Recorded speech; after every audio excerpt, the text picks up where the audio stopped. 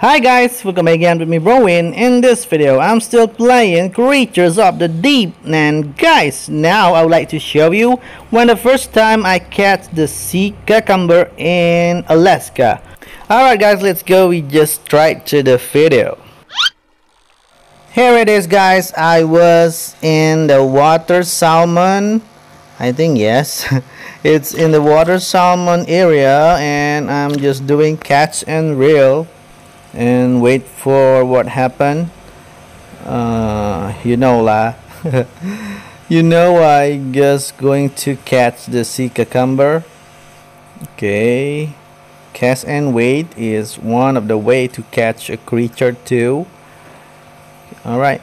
It's my first time catching a sea cucumber. Wait for it. Wait for it. Okay. Here it is guys okay I think you can get this sea cucumber everywhere in Alaska guys. Okay a new creature discovered California sea cucumber.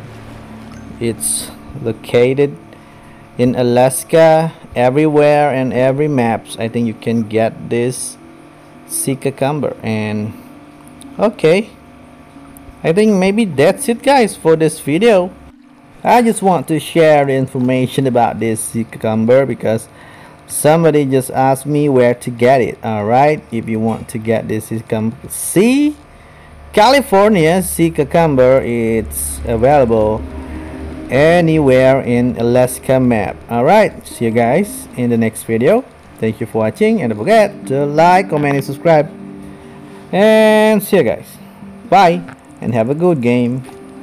Bye guys